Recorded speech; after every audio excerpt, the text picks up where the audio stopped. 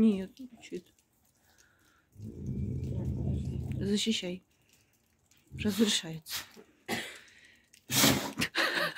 Соломинка.